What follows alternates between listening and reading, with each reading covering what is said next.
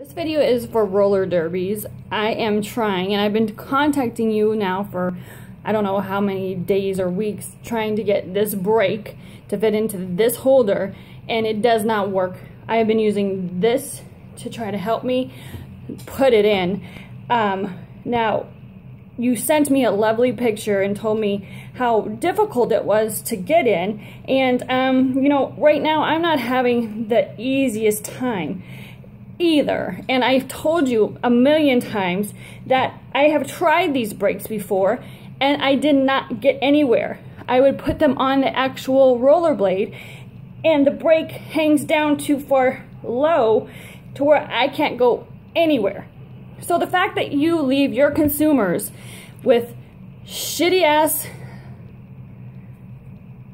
opportunities, the hole meets there, the hole does not meet anywhere close there. I have been struggling for like an hour trying to get this shit in here. My thumb is numb as hell. The skin is wearing off right there. You tell me or you come to Arizona and put this shit on roller derbies. I have roller blades that I spent hundred dollars on and I've used them for what a month and the the brakes go down to this after absolutely nothing. They're cheap as hell.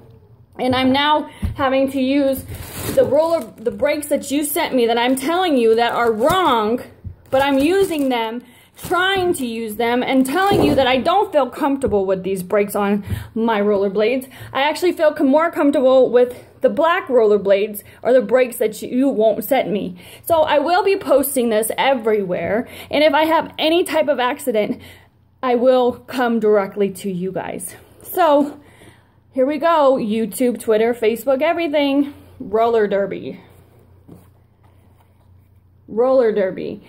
They make the rollerblades sturdy, they make the wheels shitty, and they make the brakes shitty. So you're constantly having to repair them, and their customer service in, I don't know, Kentucky, Illinois, somewhere is horrible. So thank you for the great service that you have provided. In the last couple days, I will be putting my emails and everything else up that I've gone back and forth with, and I hope that my the skin doesn't, you know, deteriorate because I do have to work tomorrow and I do have to rollerblade with 15 million dogs because I have a business to run that you don't seem to feel, you know, find very important. So thanks.